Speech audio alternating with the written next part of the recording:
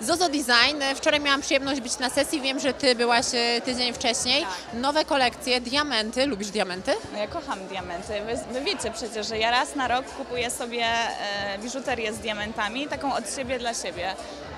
Więc w tym roku wiem, gdzie będę szła po te diamenty. No dobrze, a na przykład e, Alek też lubi obdarowywać Cię biżuterią? Mm, Alek mnie obdarowuje naprawdę. e, on jest. On jest e, hmm.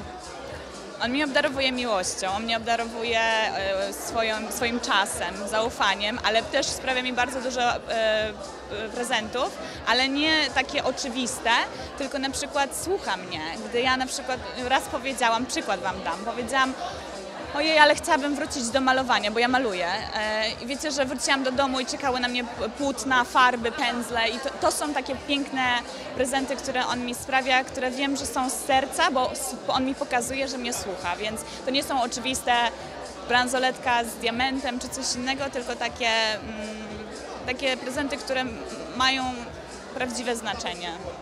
Piękne, naprawdę. Myślę, że wielu panów mogłoby się uczyć e, od e, Alka. Słuchaj, Kobiet, tak. To jest bardzo ważne, bo kobiety dają Wam naprawdę mnóstwo sygnałów, czego potrzebują, ale wystarczy słuchać.